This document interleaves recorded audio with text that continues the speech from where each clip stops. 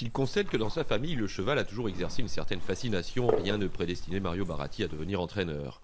Rien, excepté peut-être un père gentleman rider et un oncle à qui a représenté l'Italie avec succès dans le circuit de la Fégenterie. Comme eux, le jeune transalpin se fera tout d'abord remarquer par ses talents de cavalier, remportant près de 80 courses dans le rang des amateurs, tout en sillonnant l'Europe. J'ai commencé à, je pense, hein, à bien monter quand j'ai arrêté, à comprendre, tu vois. Et, et pour le temps, euh, j'étais, j'étais meilleur, du coup, j'ai monté des meilleurs chevaux. J'ai gagné beaucoup plus de courses. Je n'ai monté pas beaucoup, mais la dernière année, je n'ai gagné 12 et je n'ai monté 24. Parce qu'en Italie, j'allais que pour de bonnes chances. Et c'est là que vraiment on apprend.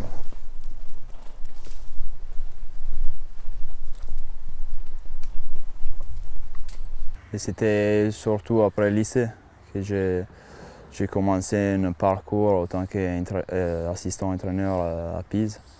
Et vu qu'il n'y a pas une grande école, euh, il faut avoir la chance de, travailler pour des bons entraîneurs pour, apprendre un petit peu le métier. Je suis allé euh, en suivant à Newmarket pour euh, apprendre l'anglais d'abord et, essayer de rentrer dans la Darling Star.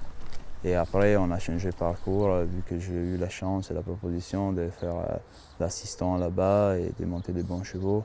Et voilà, je, suis resté 5 ans à Newmarket. Du coup. Pourquoi la France? Pourquoi la France? Pour, euh, Après un moment à Newmarket, je voulais essayer de faire des, expériences ailleurs encore. Alors je suis allé en Irlande chez Jim Bolger. Je n'étais pas très, très à l'aise.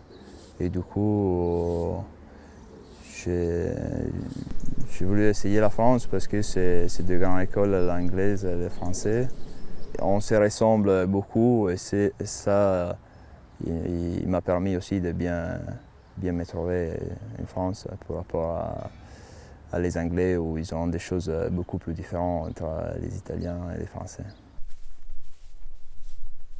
Débuté à Pise chez Mille Borromeo, le voyage initiatique de l'assistant Baratti prend fin dix ans plus tard, à Chantilly, aux côtés de Pascal Barry. J'avais des propriétaires italiennes qui ils étaient à connaissance de, M. Barry. Et du coup, ils ont passé un bon mot pour moi. Et lui, en même temps, il cherchait un assistant. Et du coup, ben, on a commencé ensemble. Après, forcément, euh, autant que salarié de M. Barry, ça resté un exemple pour, pour, ma carrière. Mais je ne suis pas un entraîneur qui aimerait bien travailler avec un effectif énorme. Bien sûr, j'aimerais bien grandir un jour et avoir un peu plus de chevaux. Ça nous donne la chance d'avoir plus d'exploits, mais, mais pas forcément travailler avec un nombre énorme de chevaux.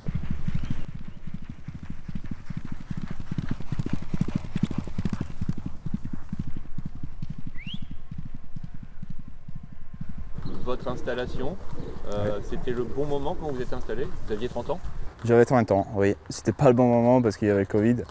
Du coup, je me suis installé et après on était arrêté pour euh, pas mal de temps. Ça... Mais, mais voilà, c'était plusieurs années que je me sentis prêt pour commencer. Et les choses y vont de mieux en mieux.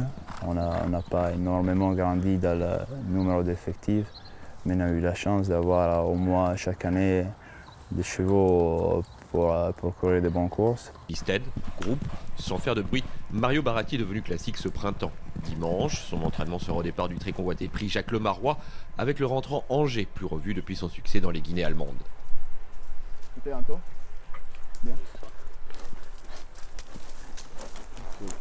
La faiblesse, c'était surtout, surtout au début son mental. Et bah, avec le temps, il fait énormément de progrès, il comprend comment utiliser sa force. Euh, et c'est ça qui peut le rendre un très bon cheval.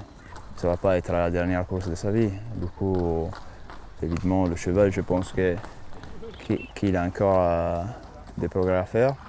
Pourquoi pas euh, C'est un cheval qui a couru assez tôt, à deux ans, mais parce qu'il avait beaucoup de moyens physiques mais il peut encore faire des progrès. Après, bien sûr, euh, c'est une très belle course à courir et si on court, euh, on, essaie de faire mieux. La seule chose que je peux rapprocher, c'est qu'on n'a pas couru depuis la Guinée. Et ça fait quand même euh, un petit peu de marge de temps. Mais, sinon, le cheval il est très bien. Et, tout s'est bien déroulé dans le temps. Béni avec sa génération de 3 ans, le jeune professionnel pourra aussi compter sur Ruby Vendôme cet été en Normandie. Lauréat du prix du Lys début juin à Chantilly, Ruby Vendôme a comme objectif le prix Kergorlet le 20 août à Deauville.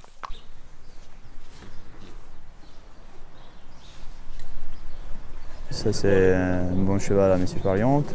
On a couru au Grand Prix Paris. Euh, on est que sixième, mais bon, c'était un très beau lot et, et, voilà, on a quelque chose de se rapprocher. C'est un cheval qu'on va revoir à, normalement dans le prix qui rigolait à 3000 mètres. On essaye de le rallonger. Il a toutes les aptitudes pour, pour tenir la distance.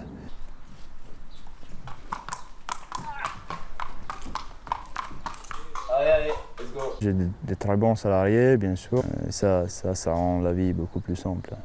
Avoir des personnes où on peut faire confiance et, et qui, font ce métier-là avec, euh, avec la passion. La famille m'a toujours supporté, déjà très bien. Du coup, même s'ils ne connaissaient pas très bien le métier, ils m'ont dit bah, dans la vie, il faut faire qu'est-ce qu'on aime bien faire. Et c'était un grand avantage avoir quand même le support de la famille.